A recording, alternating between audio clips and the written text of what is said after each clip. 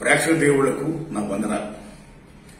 రీసెంట్గా నా రైతన్న సినిమా ప్రివ్యూ సందర్భంగా సినిమా అయిపోయిన తర్వాత అనేక మంది రైతు నాయకుల సమక్షంలో ప్రజాకవి గద్దరన్న నా మీద నా అభిమానంతో నా కమిట్మెంట్ గురించి ఆయన ఉద్దేశం నేను చాలా త్యాగం చేస్తున్నట్టుగా.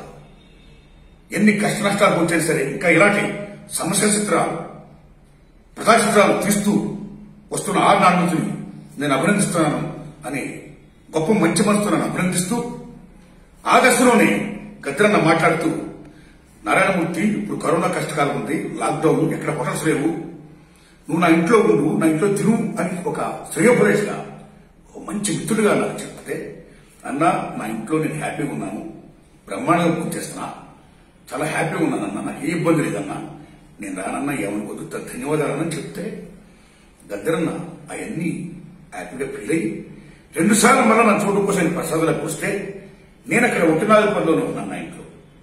ఆ ఊరికి దూరం సిటీ దూరం ఎత్తుకుండాలి. మనవాడు ఏమన్నా రెంట్ కట్టలేకపోతున్నాడా?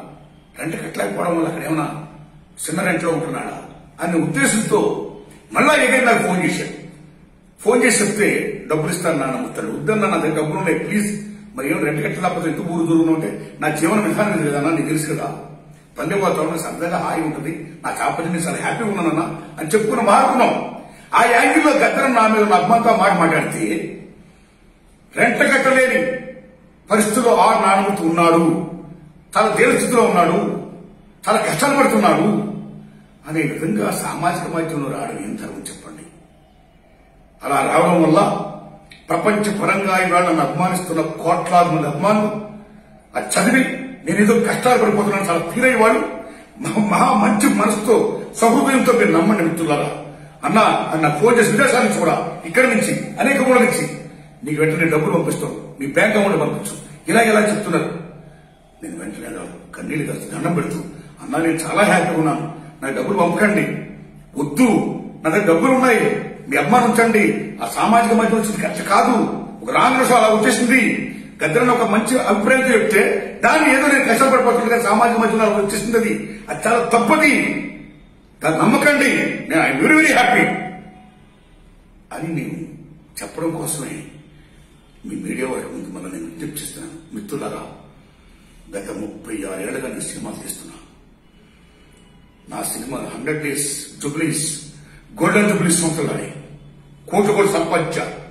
ఎంతో చెప్పినప్పుడు చెప్తున్నాను నేను సంపాదించిన కోట్లన్నీ కూడా నేను తిన్న తర్వాత యూ బిల్ మై ఫ్రెండ్స్ నేను ఇల్లు కట్టుకోలేదు కారు కొనుక్కోలేదు. నేను సంపాదించిన సొమ్ము నా అవసరాలు ఉంచుకొని మిగతాదంతా కూడా మంచి పనులు కేటాయించా. రెండు రాష్ట్రాల్లో కూడా అనేక చోట్ల నేను విద్యకి వైద్యకి నేను ఇచ్చా.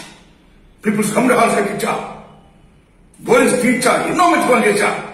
ఎప్పుడు ఇప్పుడు ఇప్పుడు చెప్తున్నాను అప్పుడు కూడా సాపరిండే ఇప్పుడు సాపరిండే నా హై స్కూల్ డేస్లో కూడా సాపరిండే మరలా నేను సినిమాలు తీసినప్పుడు నా రైతుల సినిమా అందరూ బాగుందంటారు దేవుడు వెరీ హ్యాపీ మరలా చుట్టూ కొడతా సక్సెస్ అవుతా. బ్రహ్మాండంగా ఉన్నాను బ్రహ్మాండంగా ఉంటాను. కాబట్టి మిత్రులరా నా జీవన విధానం ఏమైతే ఉందో చాలా ప్రశాంతంగా సార్ సింపుల్ అన్న హంపుల్ అన్న ఏమన్నానని మీకు దండం పెడతా. ఇలా బతకడం నాకు ఆనందం ఉంది. నా ఆనందాన్ని నా స్వేచ్ఛని నా స్వాతంత్ర్యాన్ని దయించి ఇలా రాసి ఎందుకు మీరు బాధపడతారు? నన్ను అభిమానించేవాడు నావాడు అనేక మంది ఉన్నారు. వాళ్ళందరూ ఎందుకు బాధపడతారు? నేను చాలా రిచ్ ఫీల్ అవుతాను ఎందుకంటే నాకు సహాయం చేసే గొప్ప స్నేహితులు ఉన్నారు. నాకు సహాయం చేసే పరిశ్రమల పెద్దలు ఉన్నారు. అలాగే బయట ప్రజలు ఉన్నారు సేవలు ఉన్నారు. అన్నింటినీ మించి నా సినిమాను ఆదరిస్తున్న కోట్ల మంది ప్రేక్షక దేవుళ్ళ దైనా నాకు ఉంది నాకంటే ఎవరైనా రెచ్చిపోయారో ప్లీజ్. కొంతమంది సోషల్ మీడియా రాస్తున్న ఆనంద హాస్టల్లో ఉంటున్నాడు అమలు పెట్టడం హెల్ ఈస్ గోయింగ్ అని డోంట్ నేను హాస్టల్లో ఉంటున్నానా? నేను హాస్టల్లో ఉంటున్నానా? తీరుస్తున్నాను అంటే ఎట్లాగా? ఏంటి ఇలా రాయడం? తప్పదా ఇది? మిత్రులారా మారేస్తున్నాను ఇల్లు టాపిక్ వచ్చింది కాబట్టి. నేను ఉదయ రిక్షా సినిమాలో నటించినందుకు మా గురు శ్రీ దాసనారాయణరావు గారు నాకు రెమ్యునరేషన్గా త్రిపుల్ బెడ్రూమ్ ఫ్లాట్ నాకు ఆఫర్ చేశారు గురుగారు వద్దు అని స్వీకరించడం. గురుదక్షిణ సినిమా చేశాం.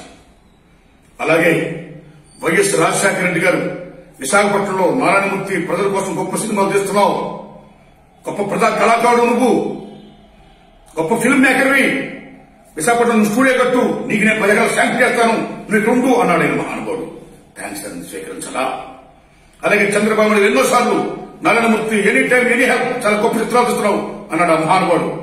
ఆయన ఆయన సహాయాన్ని స్వీకరించలా.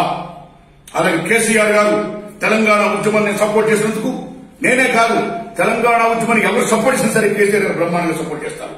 ఆయా ఇంటిలో మహానుభావుడు నాకు డబల్ బెడ్రూమ్ క్యాంప్ శాంక్షన్ చేయబోయినా ఆయనకి దండం పెట్టా వద్దని. సో ఇల్లు కట్టుకోవాలంటే నేను కోటి సంపాదించినప్పుడు నేను కట్టుకోలేనండి. ఇవాళ చిత్రపురకాల్లో ఒక్క ఫ్లాట్ తీసుకోరా లోటస్ పాండ్ దగ్గర ఏరియాలో అనేక మంది మా గురువు గారికి అనేక మంది పెద్దలకు అక్కడ స్థలాలు ఇచ్చారు. నాకు స్థలాలు మంజూరు చేశారు. నా దగ్గర కోట్ల డబ్బులు రూపాయలు ఉన్నాయి. ఆయన తీసుకోరా? వై అరే నా జీవన విధానం అండి. నా చిన్నప్పటి నుంచి ఎలా ఉన్నా అలాగే ఉన్నాను. చాపాతిండు నా హ్యాపీ చర్చి కింద హ్యాపీ ఉంటాను పని చేసుకుంటా. సో ఇలా ఉండే మనిషిని ఇలా రాసి ఎందుకంటే ఇలా మనిషి బాధపడతారు? మీరు నా మనసును బాధపడతారు. ఎందుకంటే నన్ను అభిమానించే కోట్ల మంది ప్రజల యొక్క మనసును బాధపడతారు? తప్పండి ఇలా రాయకండి సార్. సామాజిక మాధ్యమాలు బాధ్యతగా ఉండాలి జర్నలిజం అంటే సత్యాన్ని బయటికి తీసేది బయటికి తీసేది సత్యాన్ని సారి చెప్పేది. అలా సత్యం చెప్పండి. నేను ఎక్కడ హాస్టల్లో లేనే నేను ఎక్కడ రెంట్ కట్టలేకుండా నేనేమి కొద్ది పరిస్థితులు లేనే నేను చాలా హ్యాపీగా ఉన్నానే.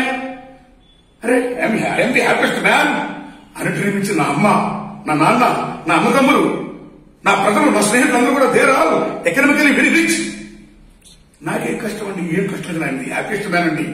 అంటే దయించి ఎవరు ఆ పుకార్ని ఆ రాత్రి నమ్మకండి. నాకు ఫోన్ చేయకండి ఆ విషయంలో. అండ్ ది హ్యాపీస్ట్ మ్యాన్ ఇప్పుడు రైతుల సినిమా తీసా.